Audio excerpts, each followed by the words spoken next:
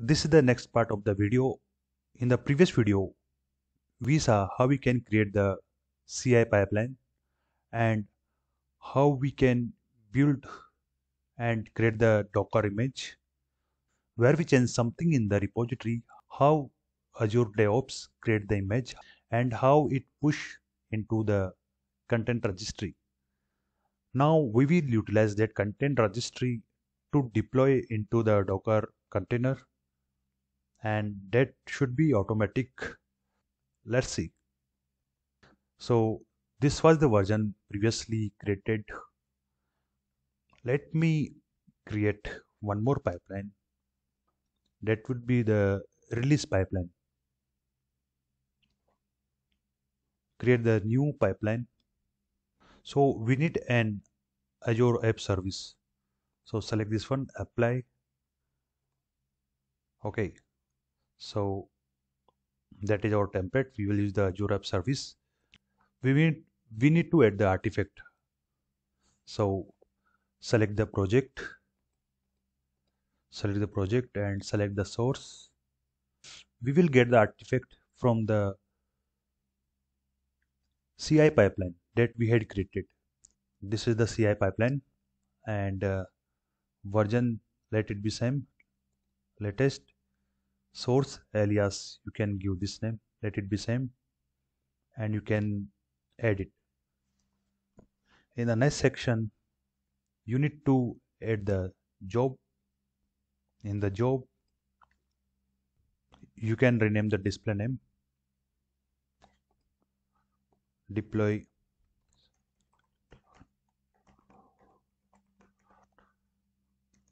Deploy singleton infosoft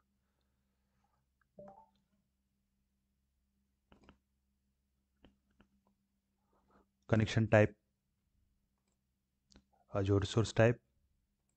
So this is the artifact that would be deployed. That's fine. And then click on deploy singleton infosoft deploy pipeline. In the task you need to select the subscription. That is the service connection that we had created. Azure types we need to select the azure app for containers and Linux and app service name. So currently we don't have the app service. So let's create the app service. So in the app service, create app service. In the subscription, select the resource group name, whatever you want. Resource group name. I have the G1 group name. I'll put the service name then publish. Here you need, to select the docker container because we are deploying our application inside the docker container. And uh, operating system let it be the linux. And next docker we need to select the container registry name. So you can select the container registry kota container registry. And the name would be the singleton infosoft that is the container registry. Select the tag. You can select the latest. Select the tag. You can select the latest version. Then review and create.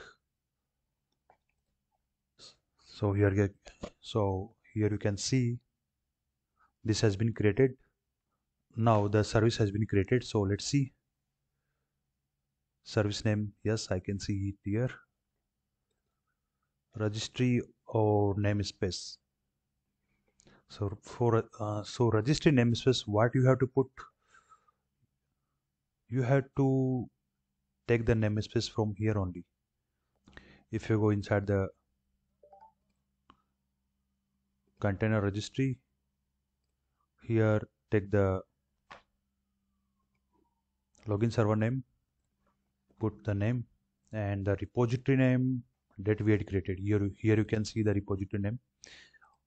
Like this is the repository name. Here we are deploying using this image.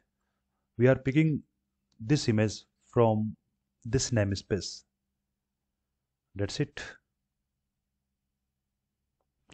So save it. Okay. I can say create release. Release from if I say create release create it's a has been created inside the release pipeline. If I go in the release I can say deploy. Deploy. So it is in the queue now. You can see the progress. It may take few minutes. Depends on the size of the application.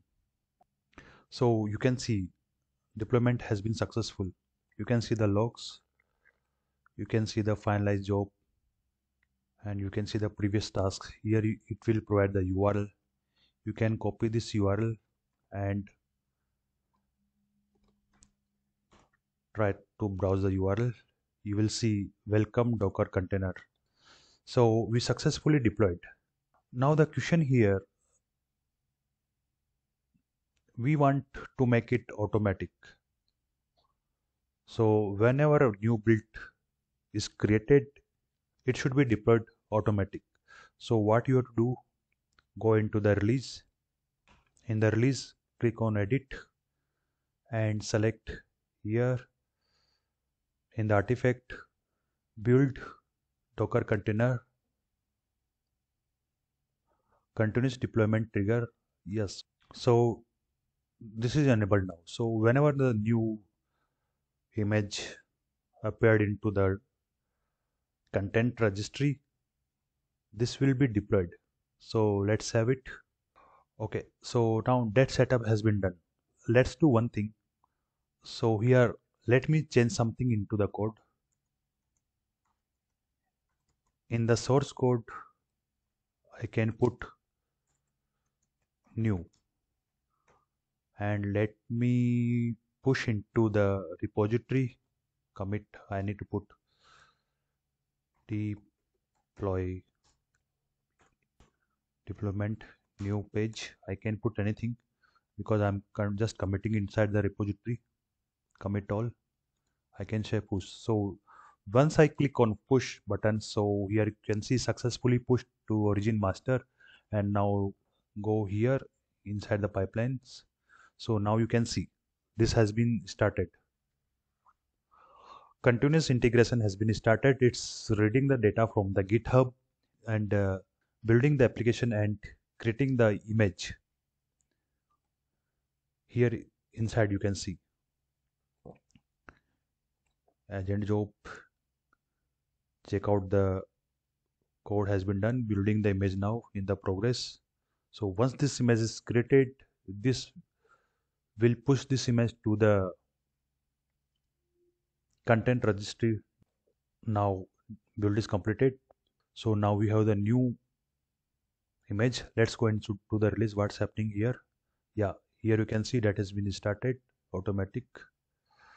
Go inside it has been the queue. You can see run on the agent. You can you can see the progress. Run the in the progress. So here you can see deploy singleton infosoft. So you can see that that has been done. Now let's replace the application. Here you can see a new keyword that we had added so therefore, we successfully deployed the application using the CI/CD pipeline. So that is very easy steps. I think you understood it. So how without manual intervention we can build the application and we can push into the environment. So currently we have one environment only. So here it could be the staging environment dev UAT QA production. So the important thing is here you can see the domain name should be the actual that we want like uh, I have the domain uh, that is singleton infosoft I want to make this URL instead of this URL that is the subdomain of the Azure websites. In the next video, we will see how we can create the DNS to get the final output. In this video, we done this one. In the next video, I will show how we can create the DNS. So see you in the next video. Till then, bye. Happy learning.